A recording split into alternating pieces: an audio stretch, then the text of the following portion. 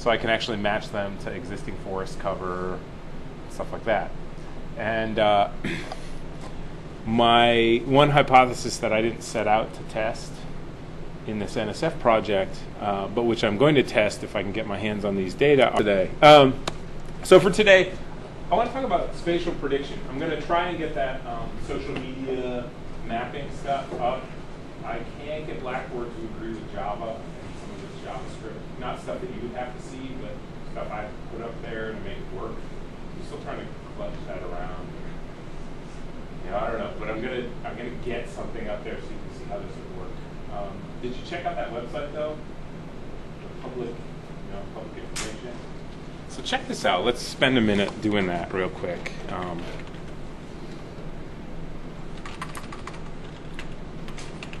and, and while you're while we're doing this, you can log into Blackboard and get the uh, the data, which is in the week 15 folder that we'll be messing with.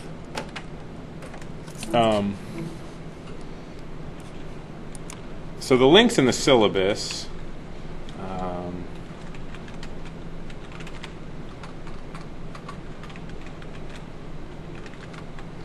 but I think if you if you search for public information map, I think you'll get it. And in this one, it's telling you about um, yeah, it's telling you about hurricanes, the one that I found. But if we check this out, you can actually turn on and off certain layers. And so I'm going to go over here to layers and turn off active hurricanes and evacuation centers and YouTube. And uh, let's turn on Twitter. And you have to sign in in this case. So I'll sign in with my Twitter handle. But you could do um, Instagram too if you wanted.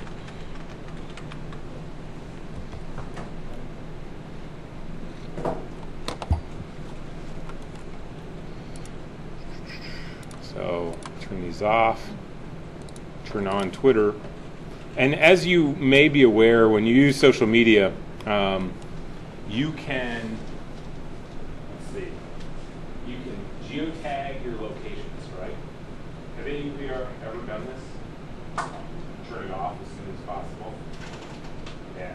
It's usually a good idea unless you really want people to know where you are, because otherwise, you know, oh, you're sitting in your living room and you tweet out like, you know, know, whatever, you know, watching Game of Thrones and I'm really annoyed about this, right?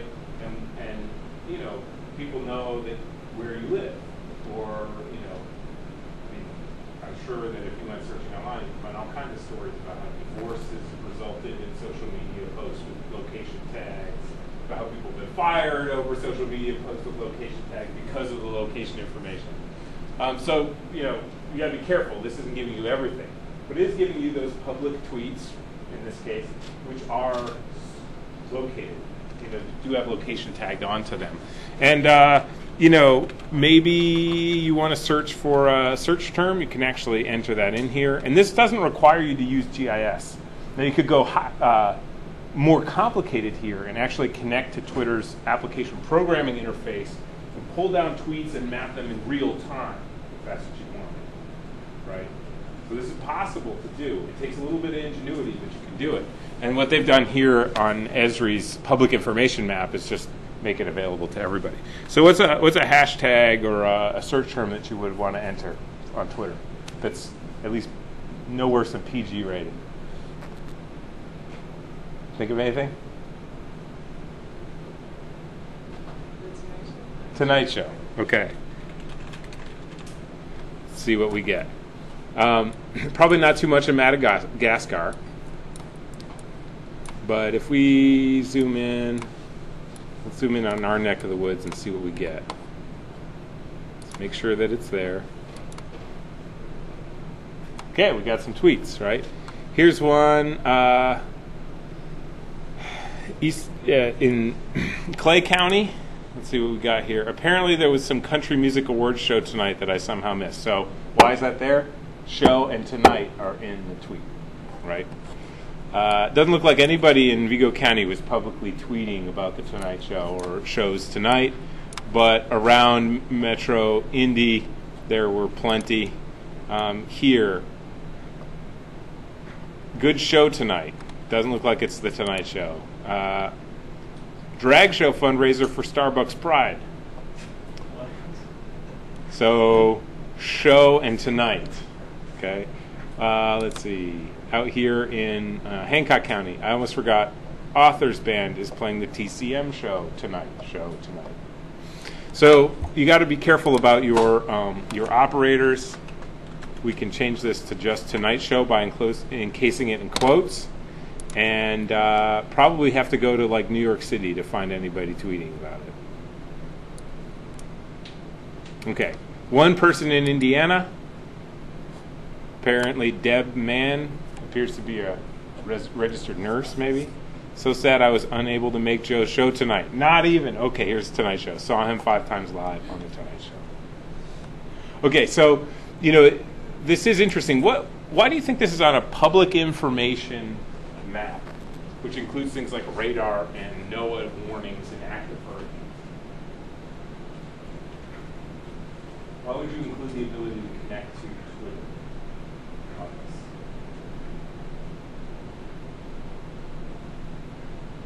Oh crap, the storm surge is flooding my house. Hashtag gotta get out. Right? I, I'm kind of joking, but not too much. Um, it turns out that not maybe not publicly available, but if you had a Twitter, you know, God mode API access, essentially you can look at everything. Twitter uh, tweets tend to be a pretty good indication of what's going on where. And so public information, especially emergency managers, but public information managers do use Twitter to track things, including severe weather, uh, natural and, and human disasters, pretty extensively, right? Because nobody does this anymore, but you can actually tweet with a dumb phone, you know, one that just texts. Anybody ever do that in this room? Um, so, so you know, even when, say, network connectivity is not available for your phone, you might be able to send a text message. And so people do use this kind of information to make decisions or to aid in rescue efforts, stuff like that. Anyway, um, I thought I'd point that out.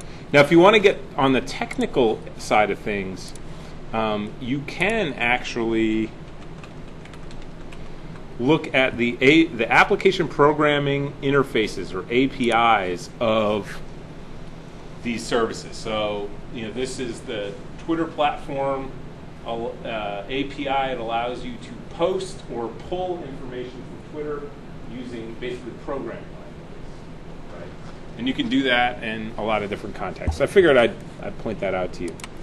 But for today, that's not what we're going to look at. Um, instead, we're going to look at uh, spatial prediction.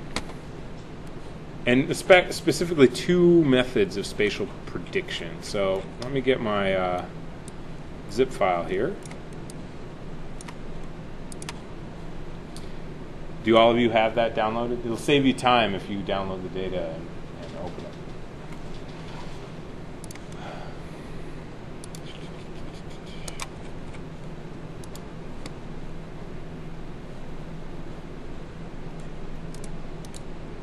So you want to download them and extract them.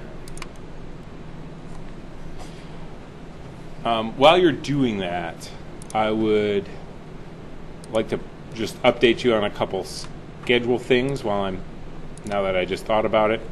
Um, first question uh, Nicole had: Do we have homework due tonight?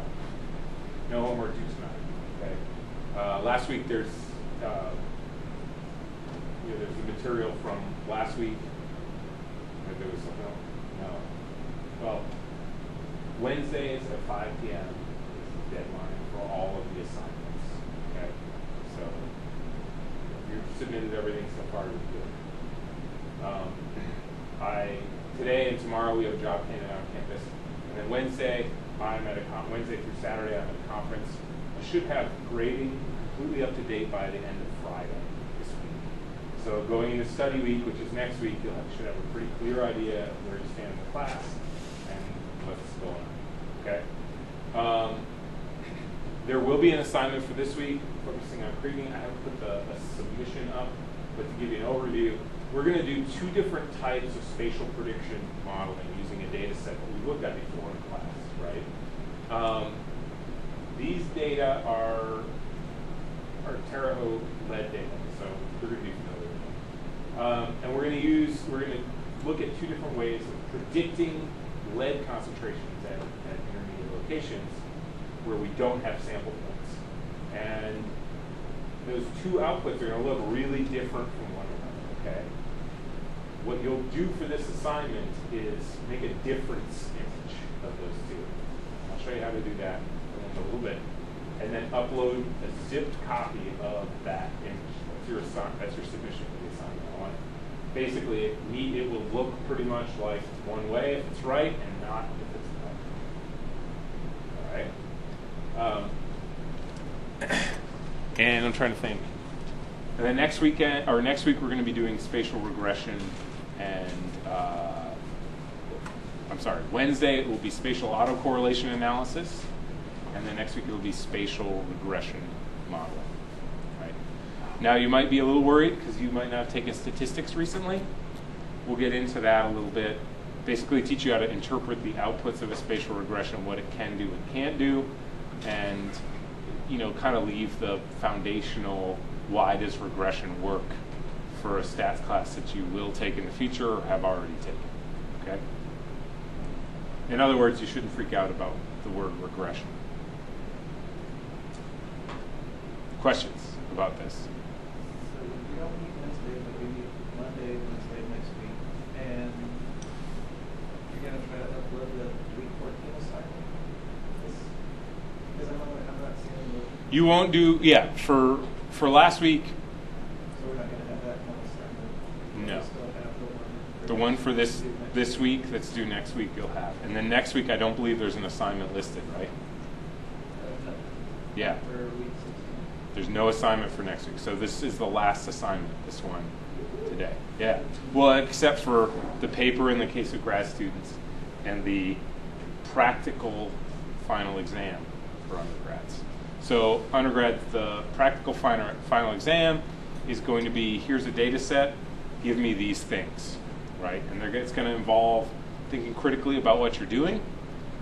It's going to be stuff we've been exposed to, but could include things like reprojecting your data set, right, to calculate, for example, accurate area measurements or accurate distance measurements. So if I were to provide you with a data set in geographic projection coordinate system, that would be unacceptable for calculating the area of a polygon, right? Why?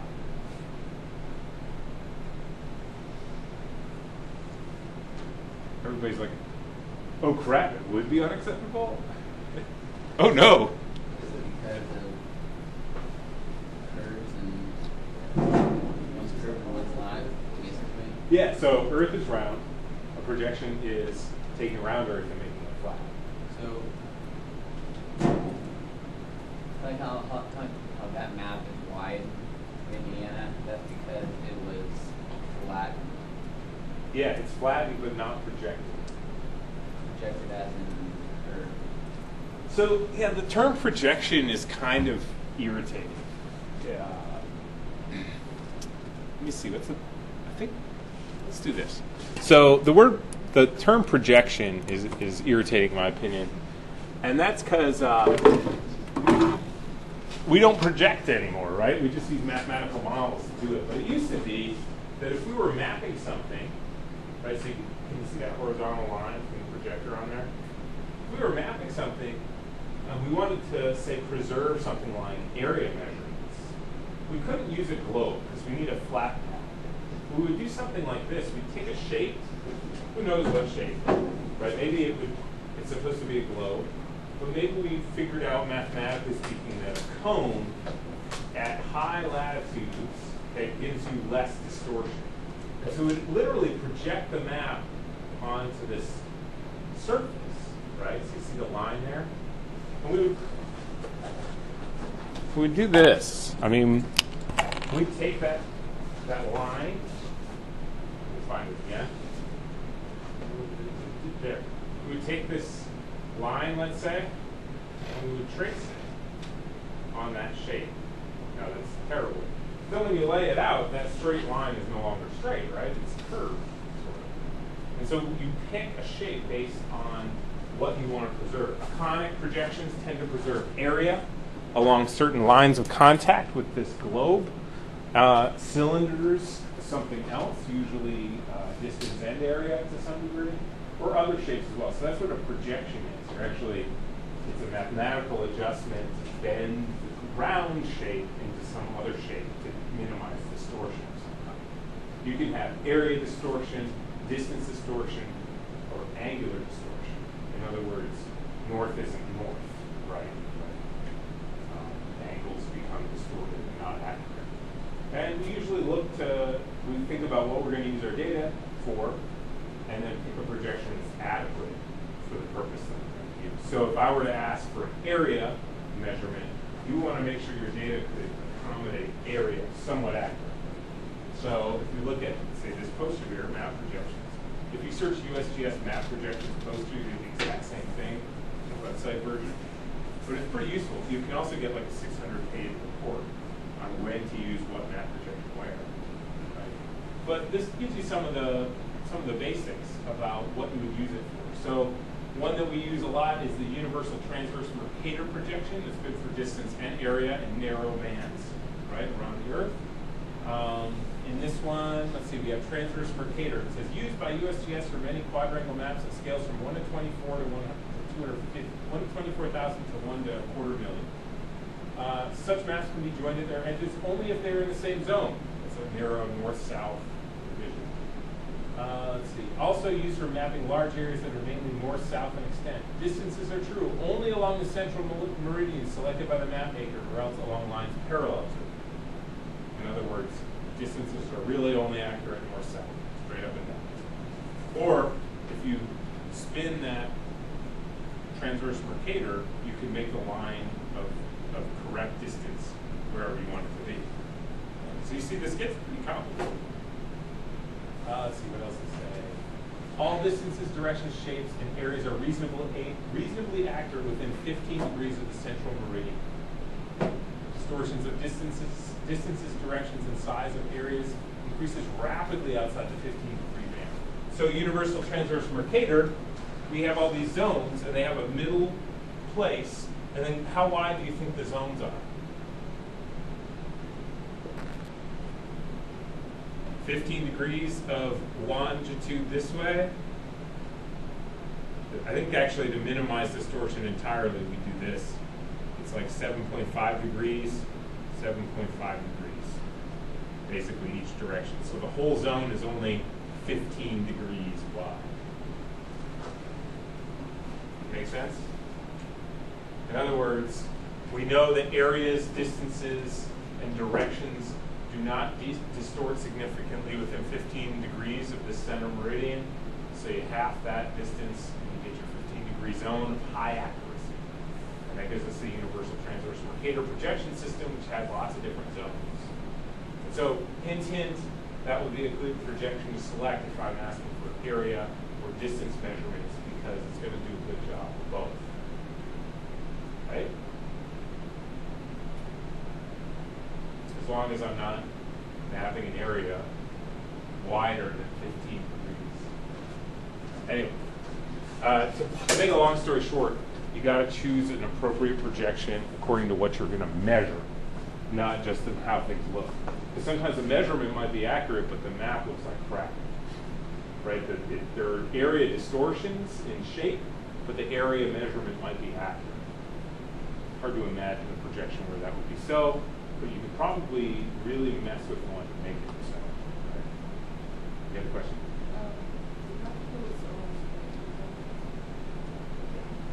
Uh, and so you'll have to do some basic level GIS analysis like that, right? Uh, reproject or you know create a ratio variable or something like that. Um, but it's really going to be making sure you can calculate a couple things, do some stuff in multiple areas of GIS. I won't be doing a network analysis question because, or, or components of that, because network analysis requires a pretty specific data type and data setup. And integrating that with the other things I'd like to make sure you know how to do, this is not going to be practical in a practical exam. But some things to just make sure you know how to do. You should know how to deal with basic raster data, vector data, and some attribute table operations like add a new field, calculate a new value for that field. Okay. And you should be able to consider, well, is this a question I need to reproject my data for or not? Know, is this a question where uh, I might have to adjust the display or I might have to adjust my calculation to exclude missing data? Those sorts of questions might come into play. So if you go slowly and think carefully about what I'm asking you to do, you should be absolutely fine. And it's open book too, so it's not like you have to sit down and do it, right? Uh, you, you, can use the internet, you can Google away, you can look at integrity videos, whatever it is that you need to. All right? Yeah. You, you what? I was just looking at the data. Okay, yeah, so let's look at the data. Their final sample data, uh, sample point data with attributes. So in the sample location, it says NV. Is It that says what? NV? NV. So let's uh, let's look at the attribute table. That's where you're finding that, right?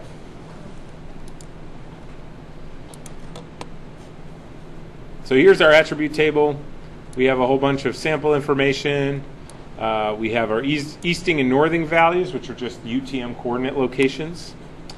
And then we have a bunch of distance to variables, some population variables, some racial variables, some housing unit variables, and pro, uh, proportion of, let's see, yeah, proportion minority, proportion vacant, etc.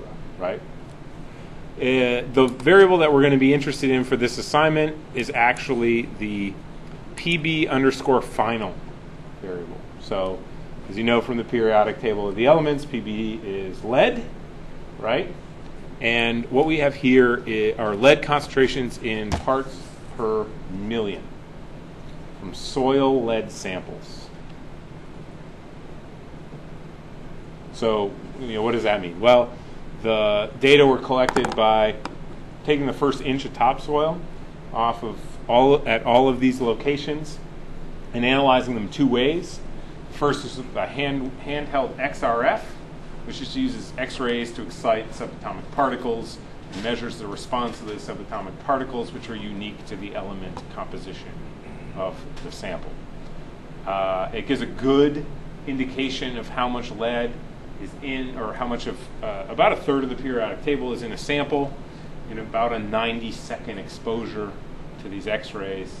Uh, it's, not a, it's not bench grade accurate, but in, with some um, elements, it gets pretty darn close. The other way these data were collected was with an ICP in the room immediately next to this one, where the data were crushed, sieved, I believe uh, ashed, I mean, cooked, so the organic material's gone, and then run through the ICP. So, and that is a bench grade, lab grade instrument. And uh, except at the extreme ends of the range, the XRF actually does a pretty good job of figuring out how much lead is in, is in a sample. So uh, these are the final measurements. Uh, the extremely high and extreme, the extremely high ones are verified with ICP right? So they're they use a bench grade instrument. In some cases, the XRF was pretty good at overestimating lead. I think um, when it was extreme, you know, like hmm, maybe we should set up a lead mine in this neighborhood, right? Or did did we crush up a bullet and and figure out how much lead was in there? So, so you know, you can look just by sorting this. Some places had no observable lead, zero parts per million lead uh, and some had incredible amounts of lead, like 33,320 parts per million, right?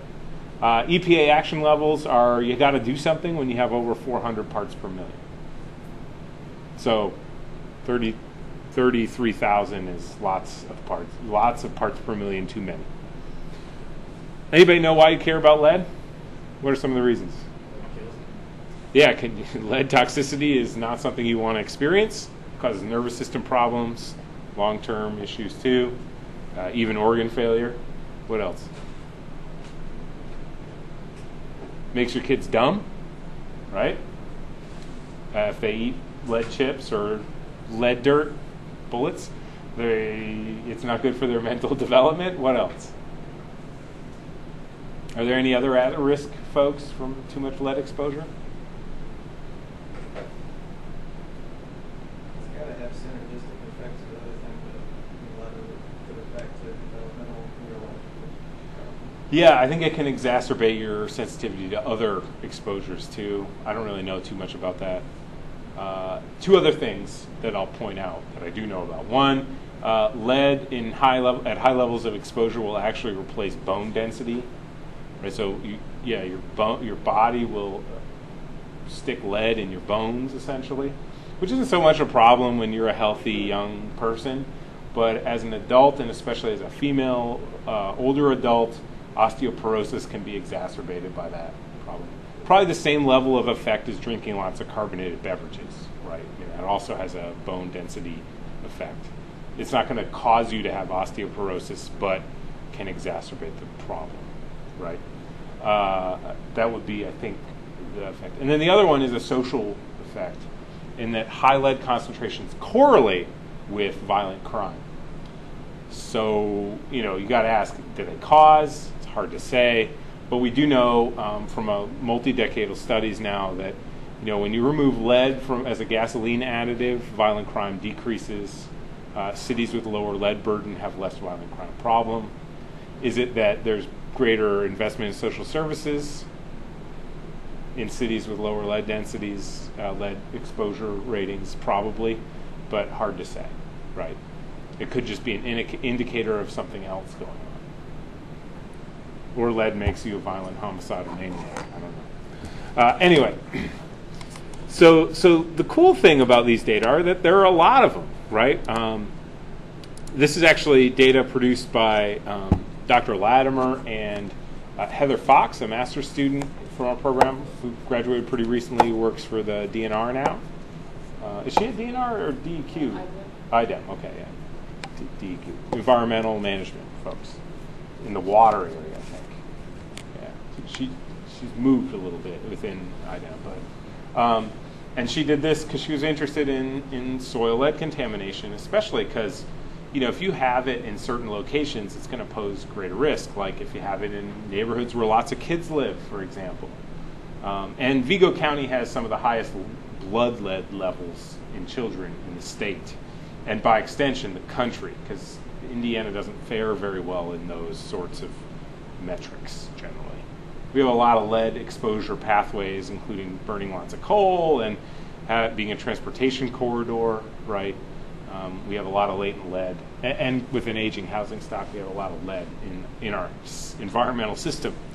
Um, and Heather wrote a master's thesis on this. So, so there are over a thousand points, and you know you can kind of see just mapping out points if you want. Some of these, if we switch to quantities, uh, or yeah, quantities in a proportional symbol map, and we pick our lead values, you can kind of see where the le- big lead is. Maybe we go to graduated symbols instead. You can see where the higher concentrations of lead tend to be, and, and where do you see them? In the core downtown area and the older housing developments both north and south of town. Farrington's Grove, areas down by I 70, and areas north of campus uh, a little ways, right, up toward Union Hospital. But this kind of display isn't very helpful. It's not very helpful for a couple of reasons. One, um, you know, you can have a high lead concentration sitting on top of a low lead concentration, like we have here. It kind of looks like a bullseye. Got a little dot on top of a big dot, right? Um, it's also not very useful. Like if you were to color code these, it would end up being kind of a mess of different colors. Uh, and then, you know, we have all these this data, but what if your house is right here? I mean, do you think you're safe? Well, it would appear that way. But what is safe? I mean, these little dots, look at the range for these little dots in my map on the screen here. Zero parts per million to 453 parts per million. Well, if you're at 453 parts per million, you might need to remediate. if you want your kids to play on the play set in the backyard, right? So there are other ways that we can kind of interpolate this. And you could use interpolation where you're guessing, making an informed guess of an intermediate value in a location where you have not made a sample.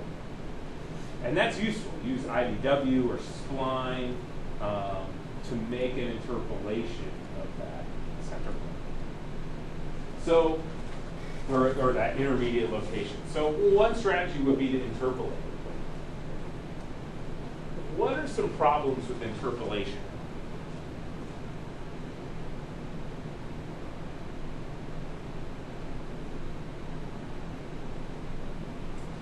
So if you think of it in profile, right?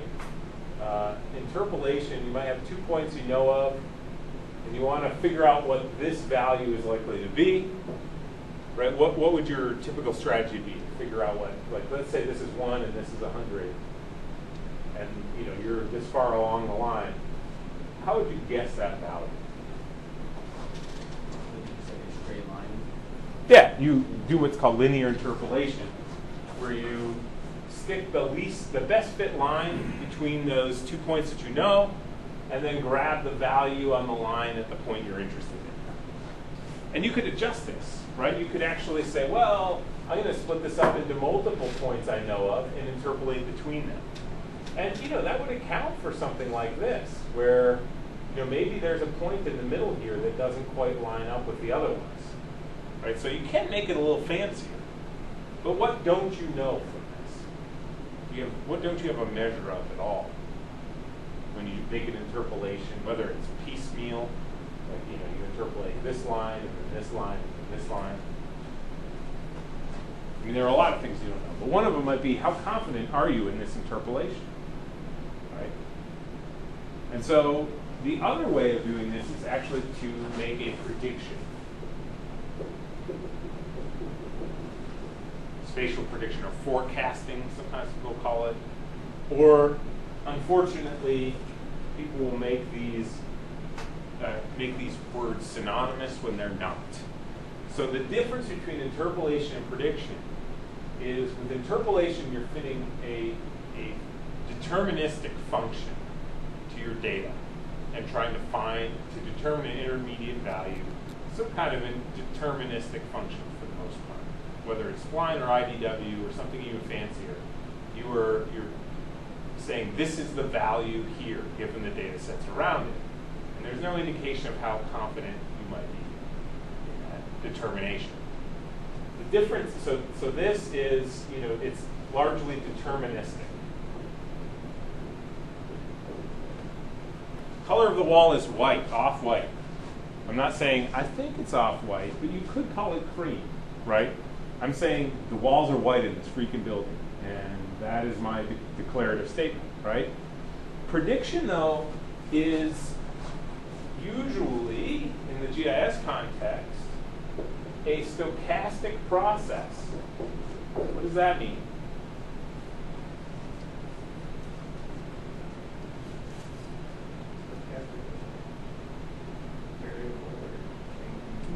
Yeah, it's based on probability. Okay? So when you make a prediction, you are not determining a value, you're predicting a value and assigning a, a level of confidence or probability to it. Right? In fact, you're assigning a probability that that value is, is not correct due to random chance, because you can control that. Right? In other words, if I say that the walls are white, I'm saying I'm 95% sure that the walls are white that means that I, I'm only allowing a 5% chance that I randomly picked the word white and got it right. Okay? Uh, or you might say, if you're flipping a coin, what's the probability it's going to be heads if the, the coin is fair? Julia, flipping a coin, heads or tails, what's the, what's the probability that the, the head's going to flip and be a coin? If the coin's a fair coin. thinking one half it's probably wrong. Yeah, one half, fifty percent, right? Fifty percent chance going to be heads, and you know there you might make a prediction, right? Of it's going to be heads, But what's the what's the level of chance that you're going to get that head right just kind of random? Well, 50 percent of the time, it's going to be right. So when you make a, a, a prediction, spatial prediction, you're making a, a forecast or a prediction of value, and then you're assigning a, a probability to that value, which would indicate how often you're going to get that same value by random chance. And the way that you do this in GIS, in, in ArcGIS anyway, is through a process called kriging. K-R-I-G-I-N-G. Kriging. Are you with me? There's a very subtle difference between interpolation and prediction. But you can think of interpolation being I'm, I'm looking at the data and its characteristics and I'm saying this is the value at this point in my landscape is 17 parts per million. How did you get to 17 parts per million? Well, you relied on an algorithm, right? So it's nice it's recoverable, but it's also deterministic. It's not 17, but I'm 85% sure it's 17. It's 17, right? right? But but what does that mean? Well, it means that you know you're not allowing for the chance that it's an outlier. You're not allowing for the chance that it could be just you know you sampled incorrectly. It's not statistically speaking, at least in terms of um, trying to make predictions or inferences. It is not uh, generally accepted to take completely deterministic inputs. So if you start getting into, I want to model a distribution of things based on data, uh, often people say, well, you know, that's, that's not, not the best idea because you're taking essentially almost binary outcomes and comparing them. That's not how the real world works, right? How many shades of gray are there in every problem that you, sol- that you solve in your daily life? I, I have nothing to do with that.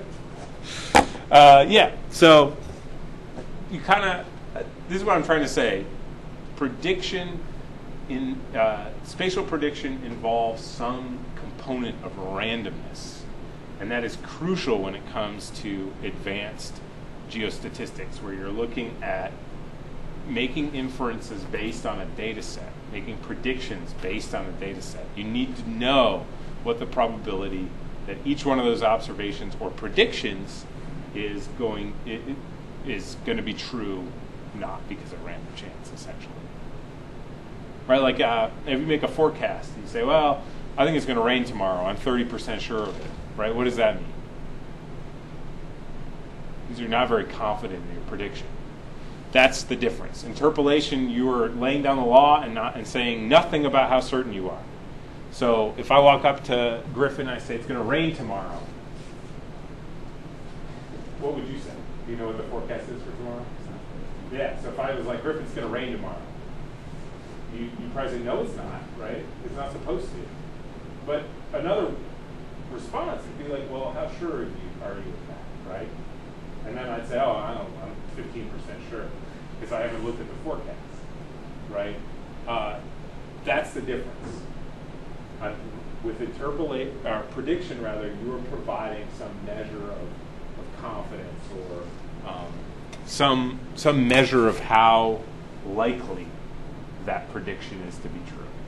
But are, both of them are finding a point you want based on other data? Correct. Okay. So the, the input data are going to be the same, and the purpose is very similar. But when you run spatial kriging, the difference is that you know kriging versus say IDW, kriging is going to give you the capability to get probabilities associated with the predicted value, which is crucial for certain types of statistical analysis. All right, I'll stop beating that dead horse, and let's actually get into how you use the tool. So the fir- there are actually two ways you can do this, and uh, this is the the heart of the assignment for this week. Uh, so the first one would be uh, if you run if you search for uh, Kriging, K R I G I N G, there is the Kriging tool here. Uh, I'd run the spatial analyst one just because I know that that's turned on on all of my machines. And uh, you know, it's just a simple. It's a relatively simple tool where you put in your point field or your point features. In this case, your the, your sample points, and you pick a z value. This z value is just going to be the uh, the um, the lead value. Why is it z?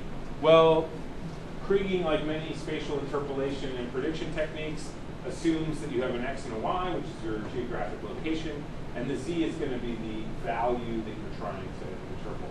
Right? Because you're really making a surface here, like a digital elevation model. Right? That's what you're doing. You're taking point data and turning it into a surface.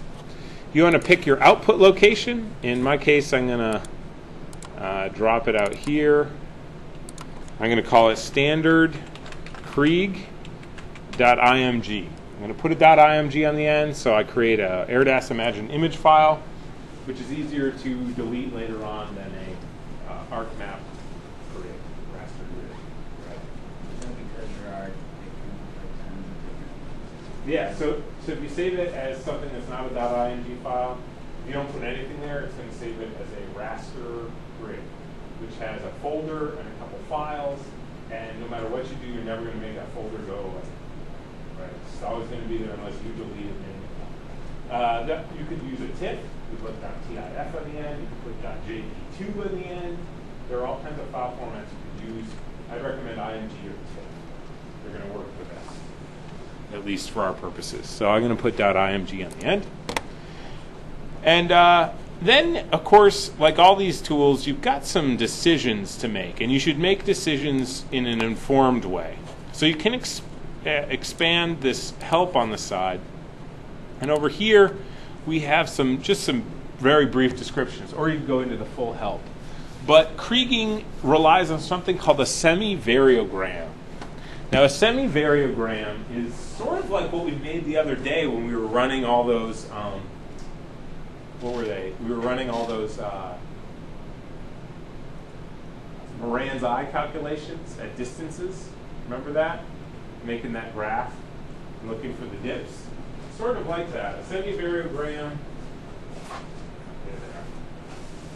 A semi-variogram is a graph where along here we have distance. So this would be a short distance, this would be higher distance. Okay? That's pretty self-explanatory. But we're graphing out, this is less uh, self-explanatory. Something called pairwise semi-variance. So what's variance? In statistics. What's standard deviation in statistics?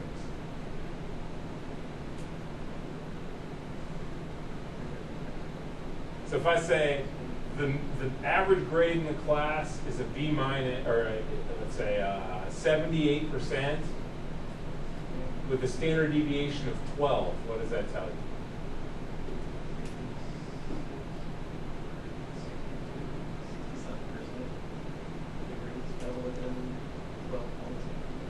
Yeah, so what that's saying is if we have a distribution of data that's a normal distribution, the mean is 78, and the standard deviation is, uh, what did I say, 12, right? That means that basically within one standard deviation above and below the mean, we have something like 63% of the class is within 12 points of 78 points.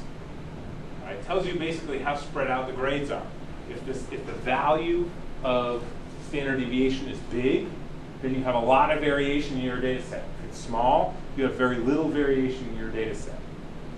The semi-variogram graphs out the variance between two paired data points.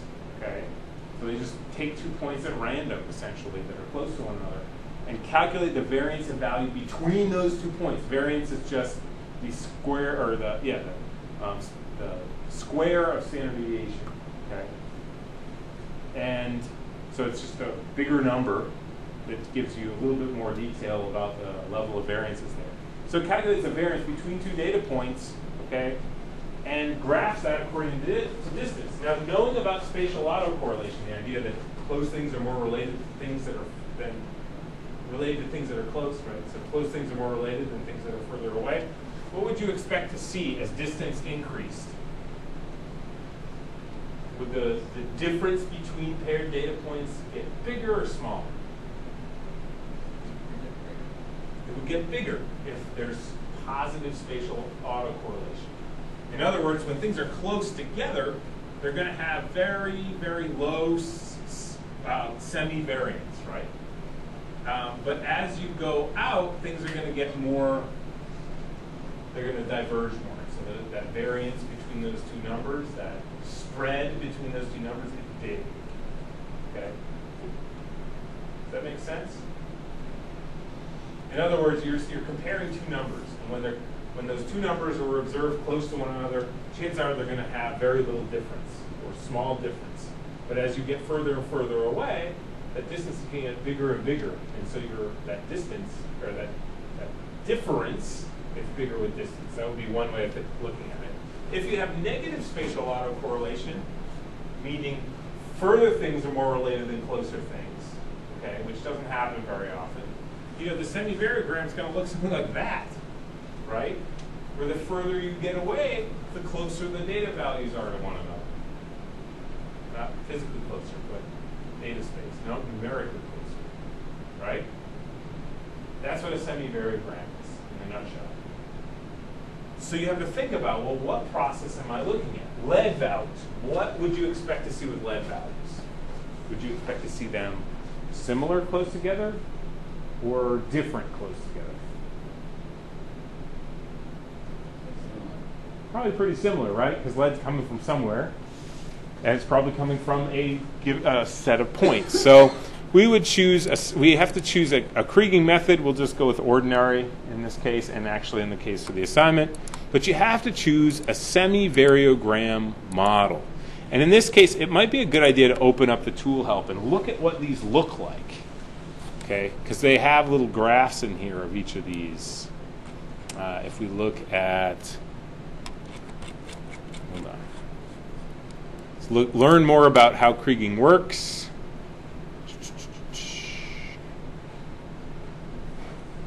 So, scroll down here. They have various choices here. We have spherical, circular, exponential, Gaussian, and linear. If we look at the help, they actually graph these out for us. Here is spherical, so it comes up, the, the uh, line comes up, and it sills out, it goes flat. Circular, uh, there's a very subtle difference between the circular semi-variogram and the spherical one, right? They both level out, but the circular one looks like it levels out a little higher uh, and a little less gradually. Definitely a little less gradually. Exponential, right? It takes quite a while for it to sill out, basically doesn't. Gaussian has uh, areas of high growth and or high correlation and lower correlation as, as uh, distance goes up, or linear. So, what do you think about lead? You know where lead comes from? Paint, fossil fuel use, and gas additives, primarily.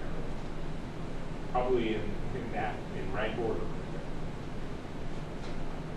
So what do you think? How would distance relate to semi-variance in this case? What kind of relationship would you expect to come? And this is literally how you make this choice in, in ordinary creed. Even if it doesn't mobilize the environment, if it has point sources, it's probably going to be. It's going to be what? It's probably going to. Yeah, it's going to be something like spherical or circular. It's going to level out at some distance, probably, where either you're so far away it just kind of stabilizes, or you've got so many different effects at work that you know kind of a baseline lead exposure. But you know, you, if you can make a an intellectual justification for one of these, then you know that's you pick that one right? But you have to make a justification. I'm not asking you for it in this class, but uh, for this lead stuff, I mean, I would suggest that probably circular uh, might be a good choice, right? Because as distance, that semi variance is going to increase until you hit a certain distance, and then it doesn't really matter anymore, right? You're comparing apples to oranges, and so your semi variance is going to be so big it doesn't matter, right? So anyway, maybe we go with circular. So uh, you pick circular. Then you have to pick an output cell size for your assignment, and for this one, pick 30. Okay, 30 meters in this case. And then you have to choose whether you want to pick your number of neighbors or your maximum distance. Let's go with number of neighbors being, uh, be, or the search radius being variable based on 12 points as your neighbor. Just go with the default. And then we can hit OK. Kriging is a relatively processor intensive exercise. And as you can see, you've got to come up with some, some parameters here, and you've got to think about it. Like, how does semivariance work with my data set, with my phenomena of interest? And, and think about it this way. Let's say you were doing this and wanted to present the results at a conference. What would you have to do at the conference? You'd have to justify your, at a minimum, you have to justify your selection of a semi-variable, right? Because I could be like, Jake, why'd you pick circular and not spherical? Right?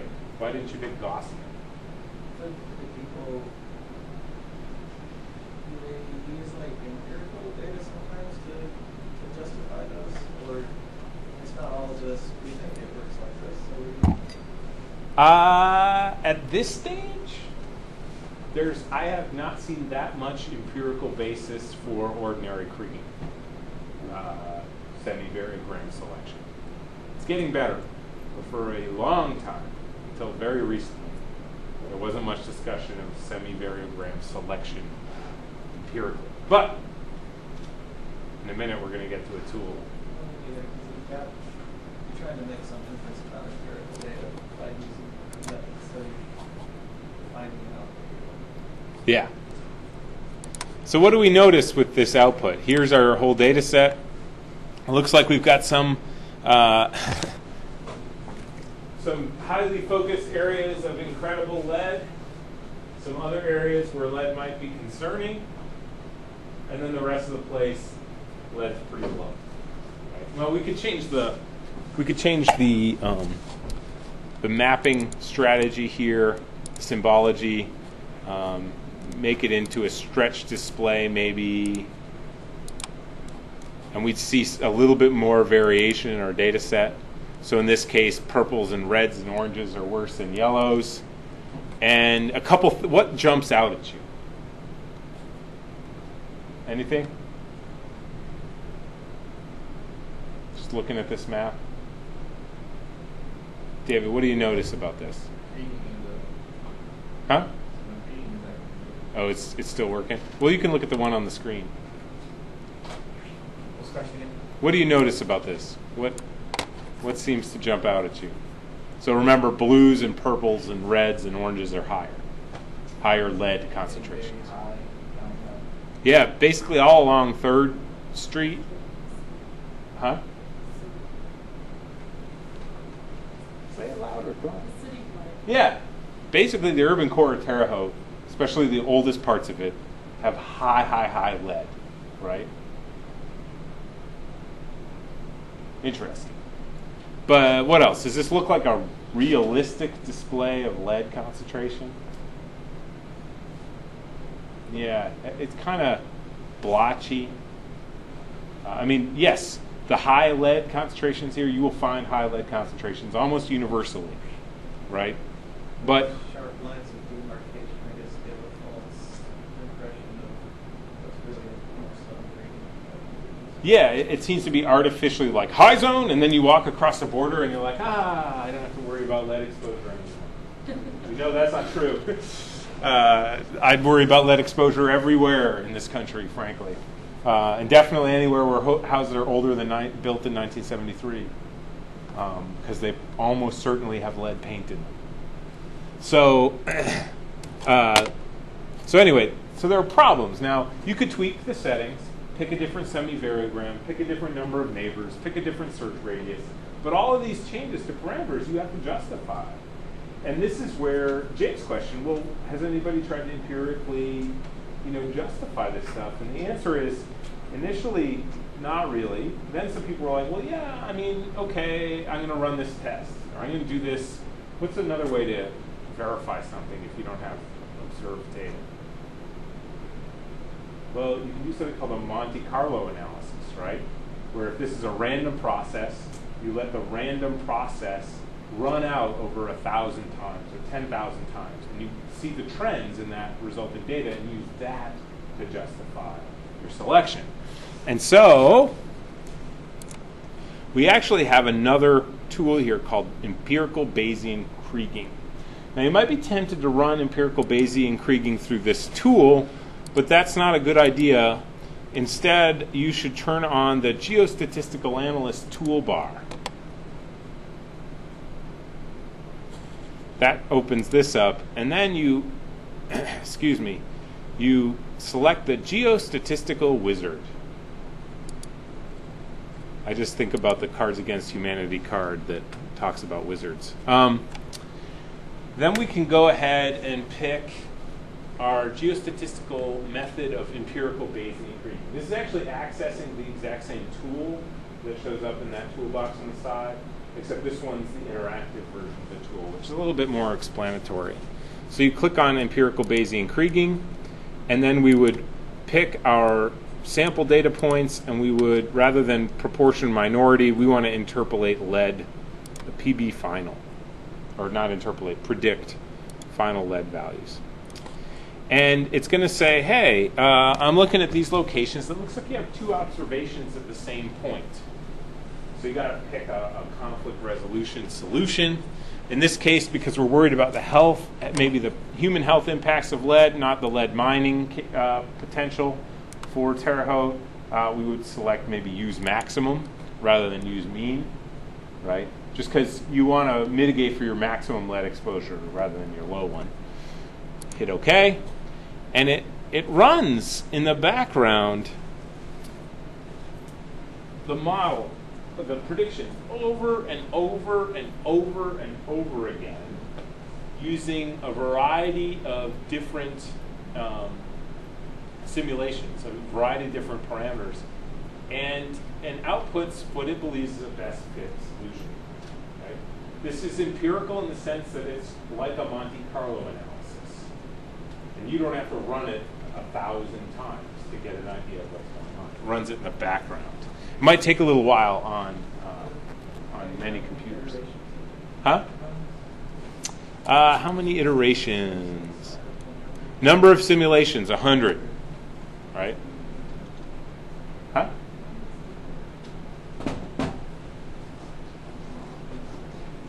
Map was different. No, it's basically the same, just different colors. Uh,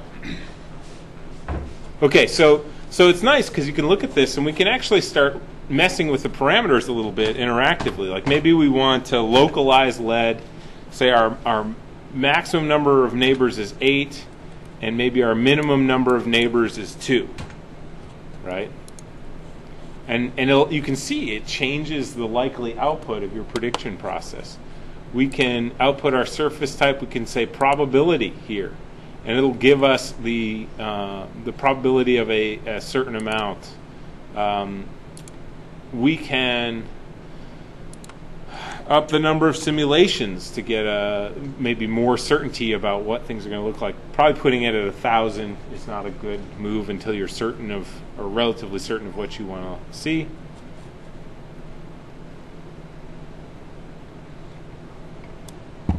And and what this does is it removes the need for you to justify some kind of selection of uh, semi-variogram because it's basing it on the semi-variogram col- uh, calculator from your data set, right? That's what this graph here is. Um, it tells you where the um, where the the uh, nugget is. What's a nugget?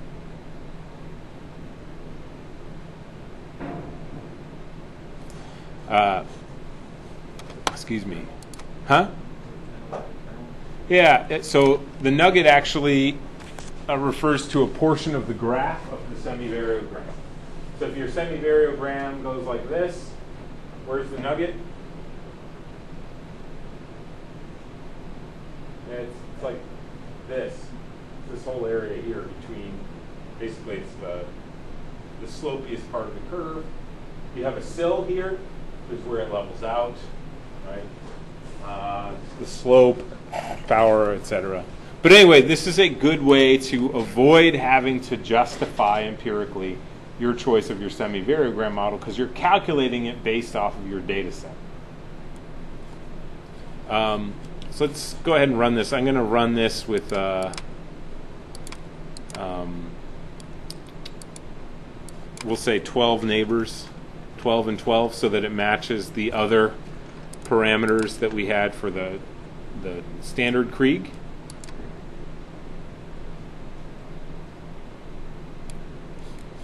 Should have dropped the number of simulations back to 100 just to make it run faster. And it'll actually it, it'll predict where your data are going to sit. Um, you can even look at your standard errors right? You don't want too many standard errors far from the this blue line, which is a predict line of prediction.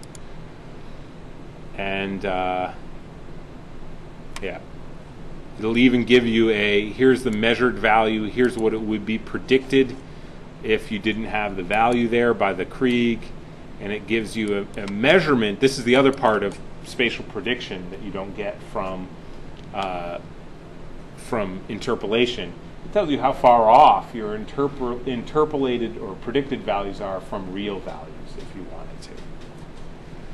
So we can run this. It's going to run a, a little report for us, and the output will look a lot different. I mean, not a world different, but much different than the output from before. So if I match the symbology uh, to the same one as before, what do we notice between the two? So this is the empirical Bayesian Kriging, and this is the uh, standard uh, ordinary Kriging. It's a little bit more gradation, and overall lead concentration values are higher, right? Okay. Now, unfortunately, I have grad council today because you know this week has to be ridiculous. Um, but I don't want to leave you without showing you what you need to produce for the for the for the assignment, which you could actually produce if you've been following along right now, and then save to a flash drive to upload when I finally get the upload thing up there, probably after grad council at 4:30. And what you would do is you take, um, let me see here. Uh, you open up something called Raster Calculator. Not calculatory, but calculator. Uh, raster calculator is a nice way to um, to interact uh, raster layers. And then the other thing we need to do is export our the output of our empirical Bayesian Kriging to a raster. And you want the cell size to match the cell size of the other, the one that we did before, which is 30 meters in this case. And I'm going to save this as ebk.img. ebk is empirical Bayesian Kriging. And I'll hit OK. It's going to run.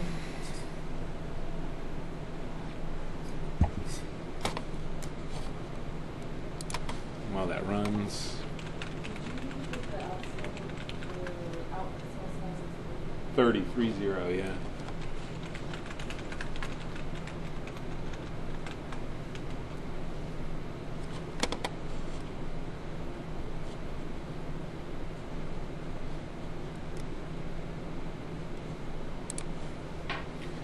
And I just want to make sure I'm telling you the right thing here, so we'll look at the new version of this.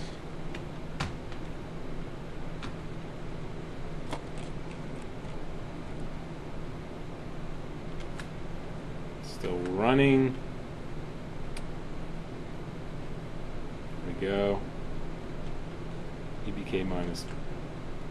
So, uh, you would, after you've saved the output of your empir- empirical Bayesian kriging, you would run raster calculator, which is going to take that output. You're going to basically write an expression here. You double click the layer standard Krige, which is my previous one, the, the Kriging from the, the one that's just called Kriging. And I actually want to set this up so it would be my ebk.img file, which isn't complete yet, minus standard Krige. And I would output that to a file name, maybe my last name, right? Or something that would differentiate it from other files in your folder as a .img or .tiff file. Then you're going to upload that IMG or TIFF file, probably in a zip file, to Blackboard as your answer. You'll want to save this in a place where you can find it. So going with the default, not a good idea, right? You would go here, output raster. You know, uh, maybe I'll call it aldrich.img, and I'm saving it to my folder on this computer. I would show you, but it's still executing the empirical Bayesian Krige. What we're doing is subtracting the standard Krige from the empirical Bayesian Krige, right? So the two methods of doing Kriging to find out where the hot, where the big differences are and the little differences are. So think about it: EBK minus standard Krige, the minus standard Kriging value is going to, uh, if it was lower in the standard Krige, you're going to have a positive value in the output. If it was higher in the standard Krige, you were going to have a no wait.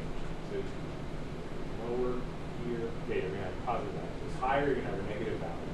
And you can see where the higher and lower places are between these two things. You can see the differences visually very quickly. And it gives you an idea of where maybe the, the normal Krige, without the, all this empirical Bayesian re- repetition, is overestimating or underestimating. Assuming EBK is the better version, right? or at least you can And really, for me, it's a it's a quick visual way for me to see that you've done the two. There's a difference. So it's not going to be like, oh, Jalil's had a standard deviation difference of 12, and Cole's had 117. Cole's of course. It's going to be more like, okay, there's a pattern, right? Is the are there you know positive and negative differences generally? This is the issue. Okay. So Wednesday, we're going to look at spatial autocorrelation, which is measuring whether places are grouped or not, whether it's positive or negative spatial autocorrelation. Um, and yeah, uh, at 3:30 today in room 138, uh, Scott Ishman is giving a presentation. He's a candidate for the chairperson of the department. You should go if you can. I would be there if I could, um, but graduate council meets and I need to be there today. So uh, I would also recommend EES students um, that you keep an eye out for the future chair candidates and any other events. Um, it's good to get to know these folks because they'll be running the department in a few short months, right? Okay. You'll get the upload place, uh, upload thing for this uh, output image will be available by this evening. I'm gonna try to do it while I'm in grad council, add it in there, but we'll see. Depends on how things go. Uh, and you should, this is of course due by next Wednesday at 5 p.m., meaning that I'll be here on Monday to help you if you've got any questions. Okay? So Wednesday, look online for uh, spatial autocorrelation. So when do you transfer the value of Yeah. Um,